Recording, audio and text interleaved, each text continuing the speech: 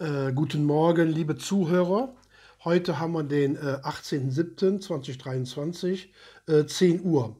Und äh, ich möchte jetzt mal hier so was Freies äh, vortragen. Ich habe mir hier so ein paar Stichpunkte mal aufgeschrieben, was mir so in den letzten Wochen und Monaten wieder aufgefallen ist. So das gesamte politische Bild mit Heizungsgesetz, mit äh Messeattacken, jetzt was in Mallorca los ist ähm, ich möchte euch noch ein Buch vorschlagen, ähm, weil ich weiß, ich weiß ja nicht, wie es euch geht, aber irgendwie habe ich das Gefühl, dass äh, es Deutschland immer äh, schlechter geht. Wirtschaftlich, gesellschaftlich, der ganze Zusammenhalt. Äh, das mag zwar nicht alle betreffen, ja, aber so die arbeitende Bevölkerung und die unteren Schichten, die Mittelschichten, lassen wir mal die oberen äh, raus, ähm, die ja, wo ich auch immer sage, die Grünen wählen, das ist ja die Oberschicht und die äh, werden ja auch davon nicht abrücken, die sind ja auch nicht betroffen, die bauen hier in Düsseldorf und Hilden, haben die ihre eigenen Quartiere und ähm, ja, muss es ja auch geben, aber ne, es gab ja immer schon reich und arm, ähm, das werden wir auch nicht mehr verhindern. Aber ich meine so, der größte Teil der Bevölkerung ich bin ja auch hier betroffen, bin ja hier selbst, ich bin ja auch hier in, in Pflegeheimen unterwegs und da habe ich ja jetzt auch mittlerweile seit 15 Jahren, sehe ich ja auch da den Verfall oder die, die Leistungen, die da angeboten werden oder wer da in den Pflegeheimen arbeitet. Also meine Mutter war ja selber hier im Pflegeheim und ich kann nur sagen, erstmal sind die Leute voll unter Stress, das Pflegepersonal, die tun, was sie da können alle Achtung, auch der gleiche bestimmt an den Krankenhäusern äh, oder hier in den Behinderteneinrichtungen, aber das ist zu viel die Arbeit und die müssen ja auch noch viel Papierkram machen. Äh, also da bin ich schon im Thema drin, das habe ich, ich mache es deswegen das Video, weil ich war ja am Wochenende mit meiner Frau hier im Ahrtal, da will ich ja gleich auch noch die, äh, der zweite, den zweiten Teil noch machen. Mal gucken, wie ich das schaffe, weil ich muss ja gleich noch arbeiten. Ähm, ja, da kamen ins heute in den BDR zwei Nachrichten, dass die Pflege in Deutschland wieder gestiegen ist, wieder teurer wird. Also der private Anteil hier in Deutschland, speziell hier in Nordrhein-Westfalen, da kostet ein Pflegeplatz ne, äh, mit Selbstanteil 2850 Euro. Also der ist, glaube ich, um 300 Euro gestiegen zum letzten Jahr. Das heißt also, da ist auch die Tendenz steigend. Ähm, und die finden ja keine Leute mehr. Da ist ja auch Personalnotstand. Das bekomme ich ja auch hautnah mit. Ähm, ja, ich pflege nicht. Ich mache nur so die Betreuung, gehe mit den Leuten äh, Freizeitgestaltung, gehe mit denen spazieren, Eis essen ins Kino oder koch für die privat. Das ist denn so meine Aufgabe. Und aber die sind froh, dass zum rauskommen, weil dafür hat das Pflegepersonal keine Zeit. Das ist ganz klar. Ne? Ähm, das ähm, also da steigt der Anteil auch und da frage ich mich immer, wer soll das alles noch bezahlen? Weil äh, Krankenkassenbeiträge sollen auch nächstes Jahr steigen. Das, das ganze Gesundheitssystem ähm, ist ja auch total äh, unterfinanziert oder kaputt gespart worden.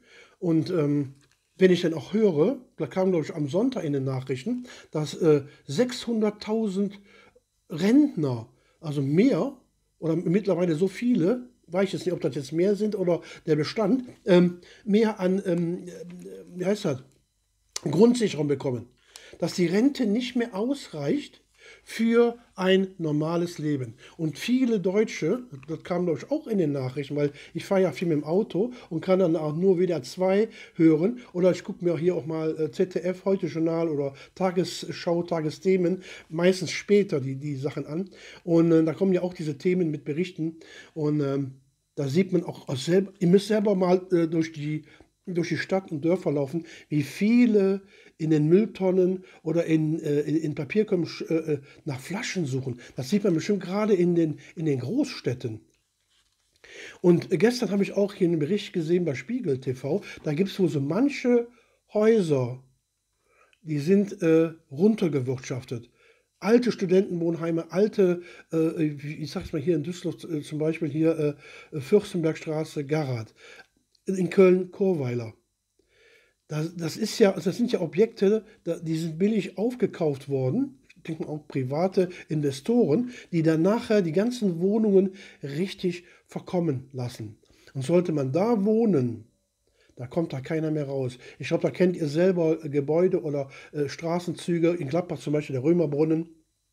Den kenne ich. In Krefeld bestimmt auch, weiß ich, will nichts Falsches sagen, äh, aber ihr kennt die Stadtteile ja selber in euren, äh, da wo ihr wohnt.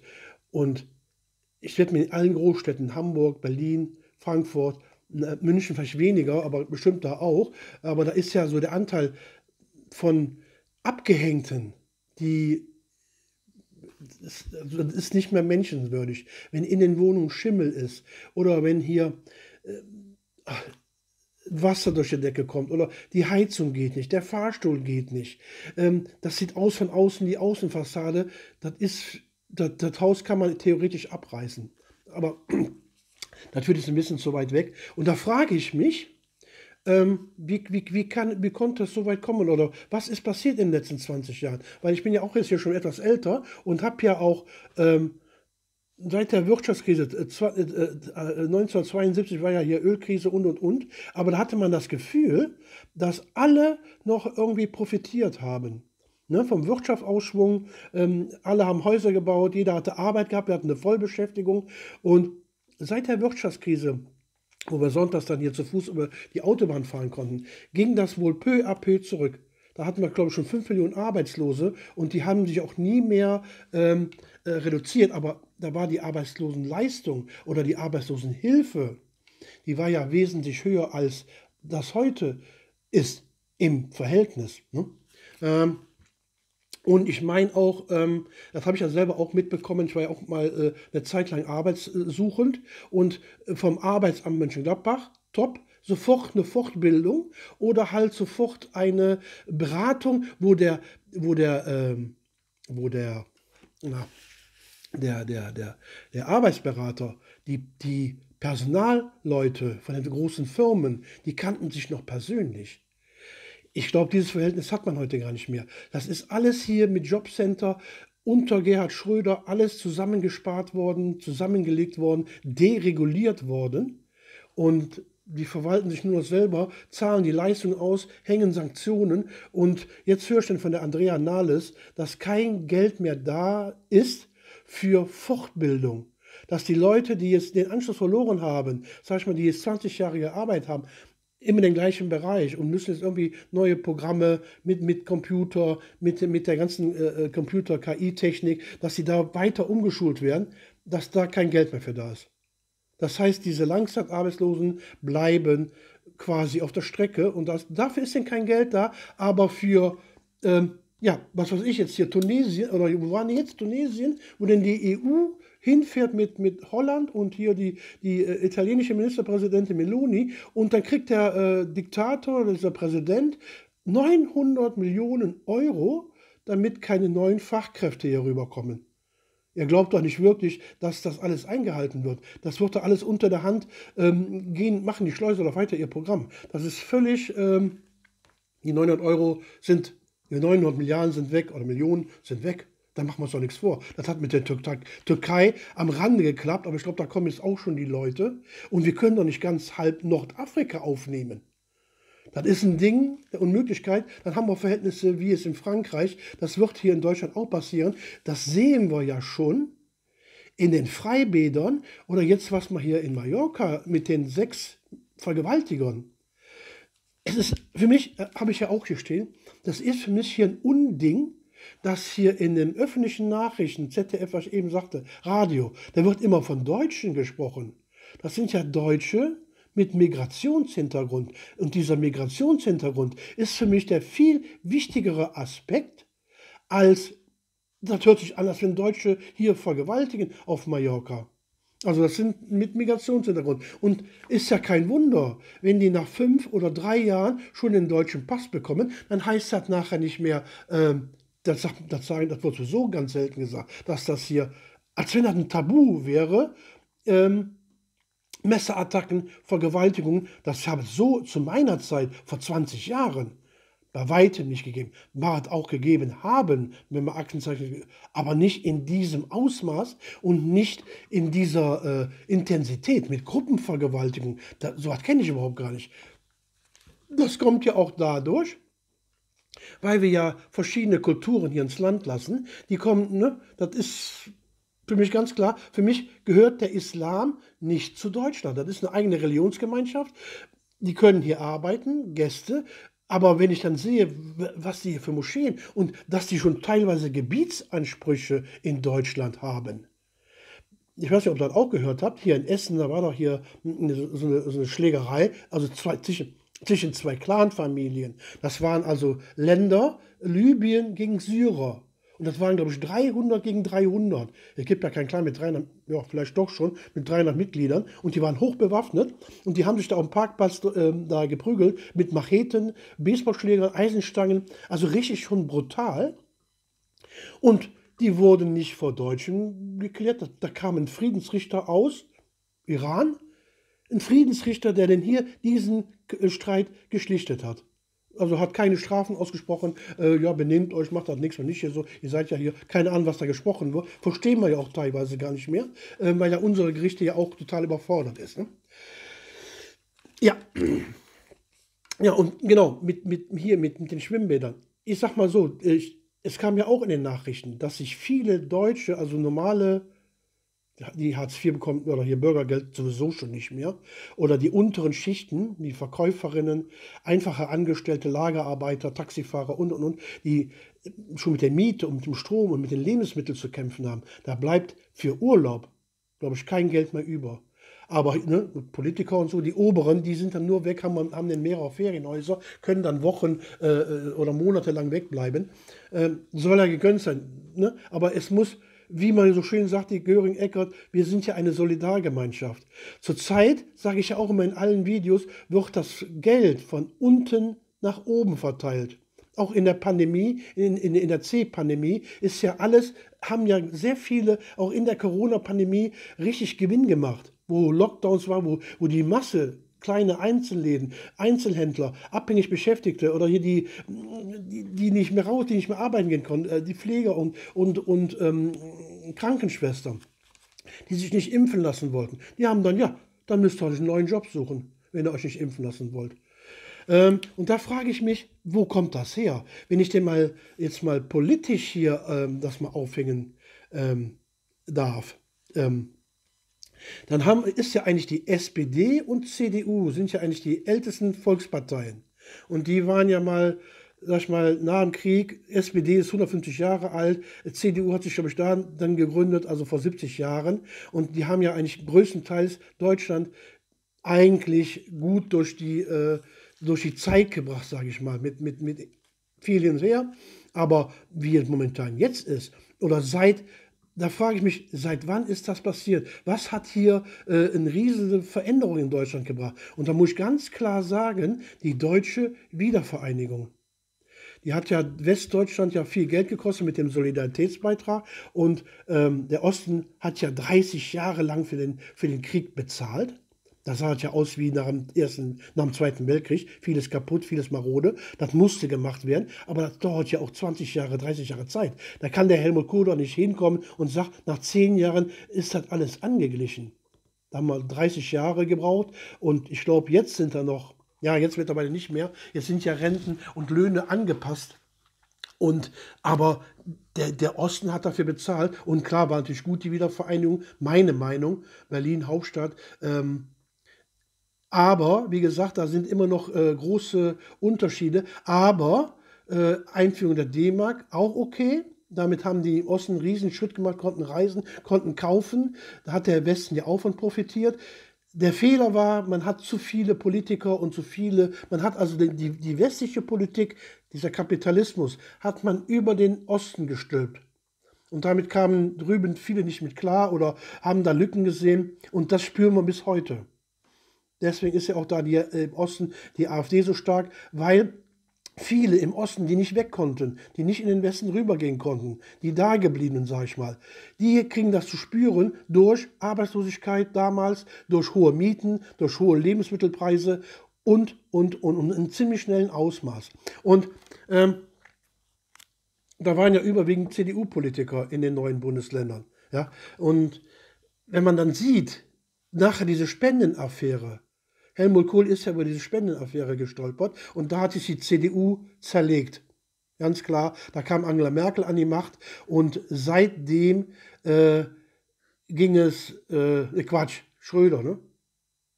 Ja, Schröder hat äh, Helmut Kohl, glaube ich, abgelöst. Und seitdem äh, ging es ja hier in Deutschland äh, peu à peu bergab mit den ganzen Deregulierungen des Finanzmarktes, Deregulierung des Arbeitsmarktes durch Agenda 2010.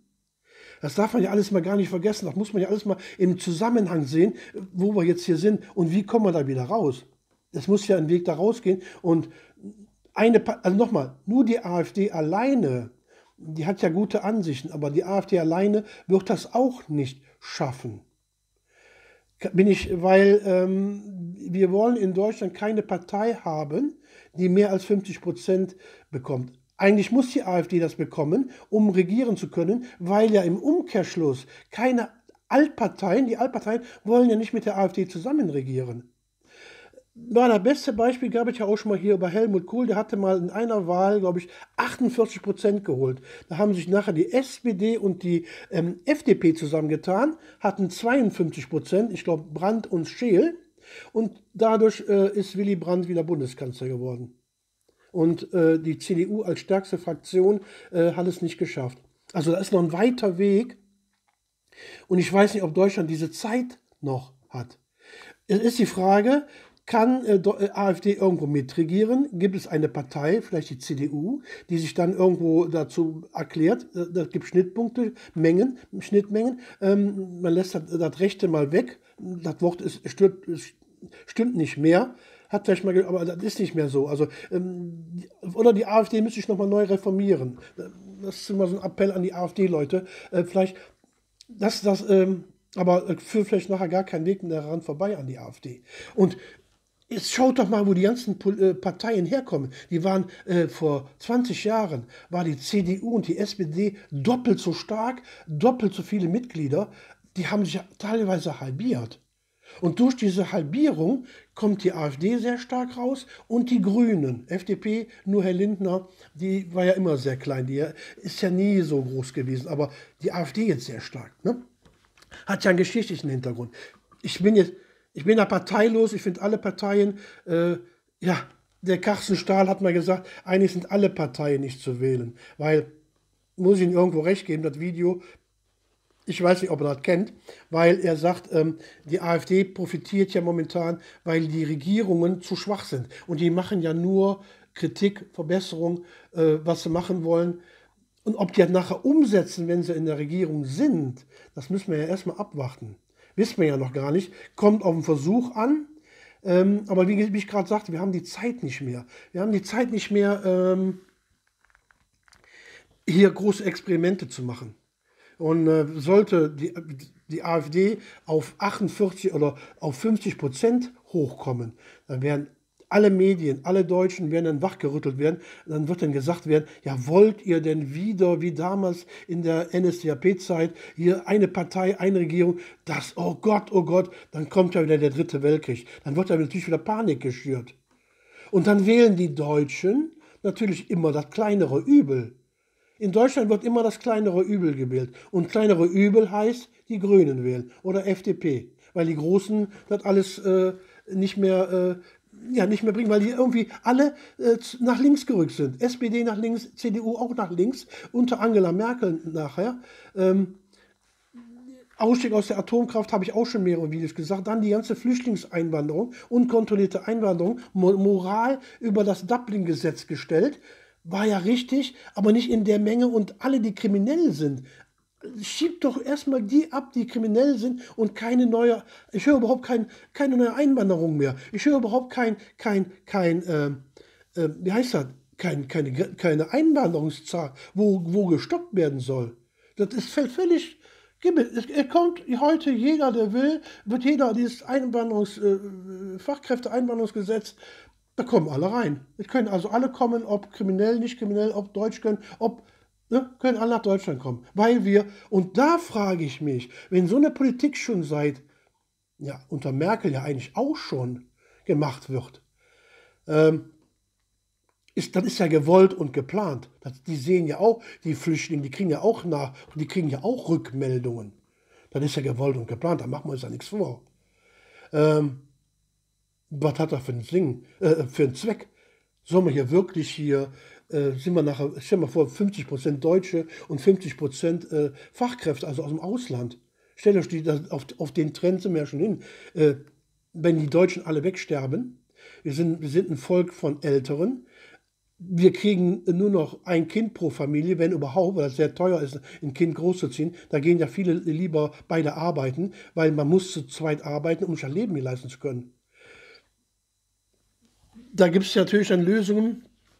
Der Staat muss das, muss das irgendwie richtig steuern. Das muss, wenn die CDU jetzt hier so ein neues Programm auflegt, muss das wirklich radikal in eine ganz andere Richtung gehen, weg ein bisschen von den Grünen und macht mehr für den Mittelstand, macht mehr für die abhängig Beschäftigten, für die Unterschichten, dass das wirklich Solidargemeinschaft ist, dass nicht alles teurer wird, sondern erstmal die Teuerung, die Inflation stoppen, von mir aus die Steuern da rausnehmen und erstmal Schulden investieren. Es wurde ja auch fast 30 Jahre nichts investiert. Und das fällt uns jetzt alles vor die Füße. Wenn ich dann jetzt höre, hier im Ahrtal, die 134 Leute hätten nicht sterben müssen. Wenn das, äh, diese ganze äh, Infrastruktur, diese ganze Kommunikation viel besser funktioniert hätte. Und es waren Hubschrauber in der Luft, da wird mir Angst und Bange. Also fahrt mal dahin, fahrt hier zum Kaiserstuhl, da gibt es so eine kleine Flutausstellung. Schaut euch die Videos an, zwei, dreimal, die dauern nicht lange, zwei, drei Minuten. Was sich da für Dramen abgespielt hat, da läuft mir eiskalt den Rücken runter. Da sitzen, mache ich aber gleich das Video zu, also bei dem dritten Teil. Da sitzen Familien auf dem Dach, die haben eine Taschenlampe in der Hand und da kommt ein Hubschrauber angeflogen. Der hat aber keine Seilwinde dabei und kann die Leute nicht retten.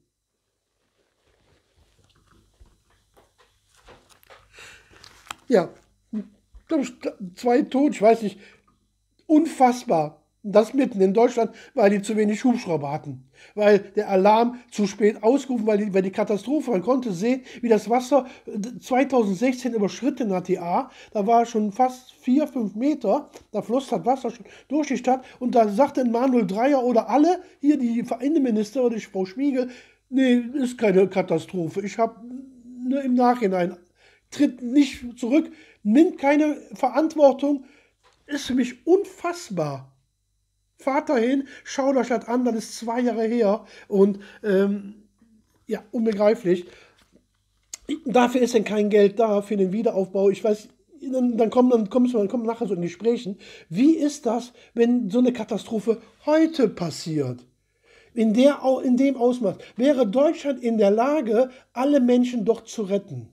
Und da habe ich meine großen Zweifel, wenn ich dann sehe, was hier nicht funktioniert, wo alles das Geld weggeht, dass das alles unterfinanziert ist. Die, der Hilfe der THW, ähm, Feuerwehren, ähm, Hubschrauber, Bundeswehr. Ich kann da jetzt falsch liegen. Wer da jetzt hört, kann mir Zahlen oder im Kommentar mal reinschreiben, ähm, wie da jetzt die, die Hubschrauberzahlen äh, sind.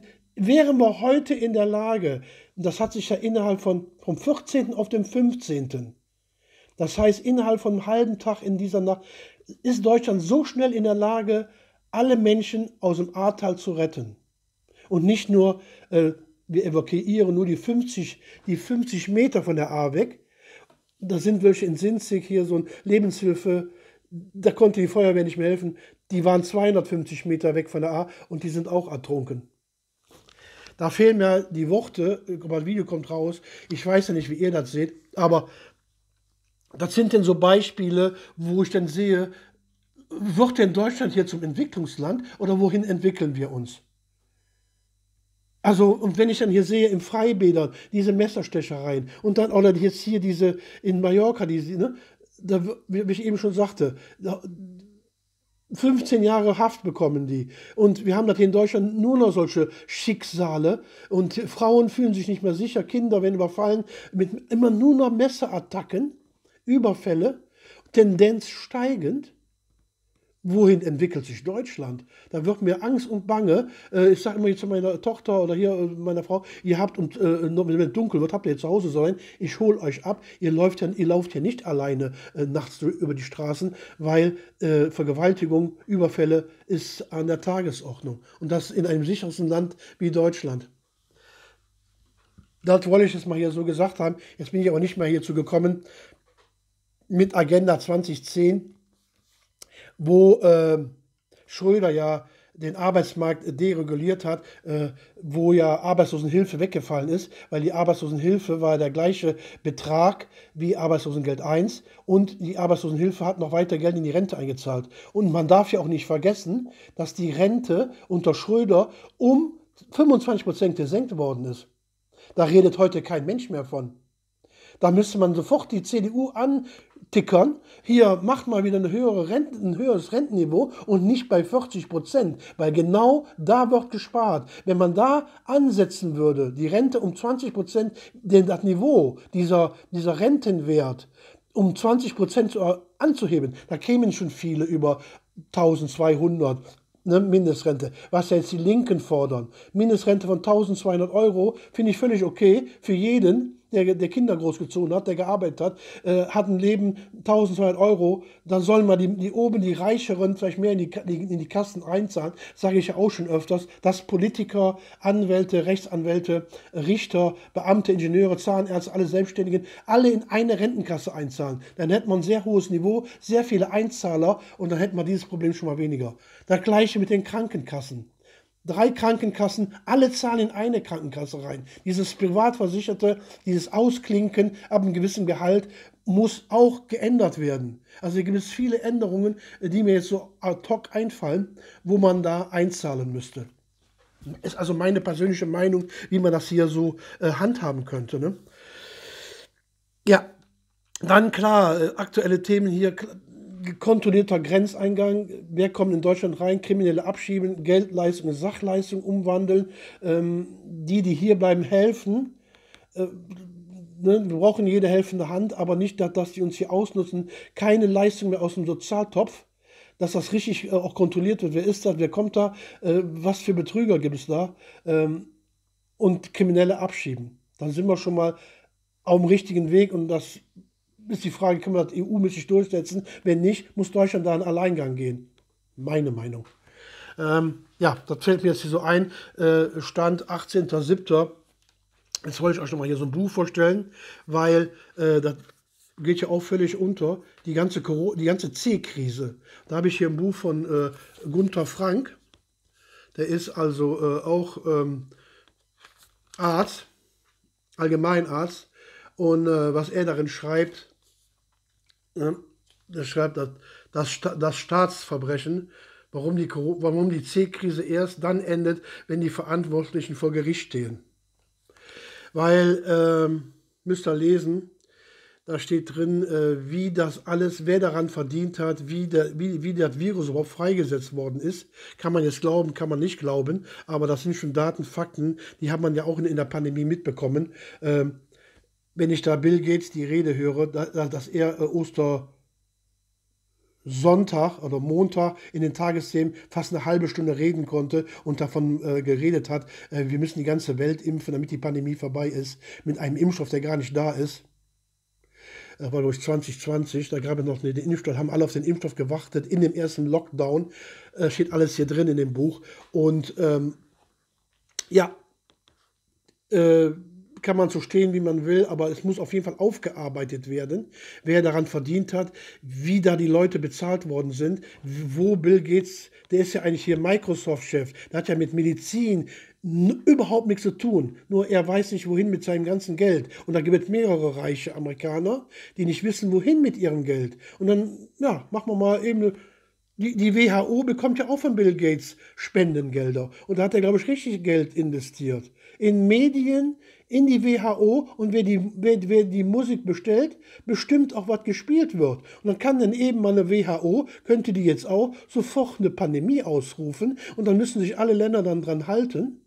Heikles Thema. Ähm, wir werden sehen, wie es sich weiterentwickelt, aber Leute, seid wachsam, lest kritische Bücher, macht euch schlau, geht mit offenen Augen durch die Welt und glaubt nicht alles, was äh, in öffentlich-rechtlichen gesagt wird, im Radio, da wird, werden teilweise Sachen weggelassen oder werden erst gar nicht berichtet. Ne? Das wäre nicht, vielleicht nicht falsch, aber halbe Sachen, wie jetzt zum Beispiel, das beste Beispiel ist hier Mallorca, das sind Deutsche, das hört sich an wie normale Deutsche, sind Deutsche mit Migrationshintergrund. Das ist, was, denn, was man jetzt immer sagen muss in einem Satz. So, jetzt habe ich eine halbe Stunde hier eine freie Rede gehalten. Ich hoffe, ihr, habt äh, äh, zugehört. Danke dafür. Danke für die neuen Abonnenten. Toll, hat mich gefreut. Ähm, ich versuche, ja, mach mal Vorschläge, was ich besser machen soll. Ist das so besser, so eine freie Rede? Weil da haben welche angemeckert, dass ich schlecht vorlesen kann. Fällt mir ein bisschen schwer, war mal schlimmer. Ähm, weil das sind ja auch neue Texte und mit Lesen vom Computer weg, die Nervosität, so freies Reden fällt vielleicht ein bisschen einfacher. Dann nur so Stichpunkte machen. Äh, ich glaube, ich mache mal hier die, diese Variante. Ich gucke mal, wie die Klickzahlen sind, wie das ankommt. Und äh, nächsten Themen sind jetzt nicht so, äh, ich habe jetzt mehrere Sachen angesprochen, dann bleibe ich höchstens auf einem Thema und gehe dann da ein bisschen in die Tiefe. Aber dann möchte ich ja auch ein paar Grafiken zeigen oder auch mal äh, Überschriften, Artikel, was vorlesen, dass ich mir nicht alles hier zusammenspinne. Dass ich mir das auch selber aus dem Internet, ja überwiegend aus dem Internet, da lese ich äh, bei Welt, T-Online-Fokus, Bild, Freunde sagen mir was, draußen die Zeitungen lesen. Was vielleicht auch mal sehr interessant ist oder wichtig ist, ist äh, ausländische Zeitungen zu lesen. Ne? Dass man da auch, äh, wie sieht das Ausland, was wird da berichtet? Es gibt ja auch noch riesengroße Unterschiede. Okay, dann sage ich äh, danke für eure Aufmerksamkeit. Äh, lasst Abo da, teilt das Video und äh, Kommentare reinschreiben. Das ist immer wichtig.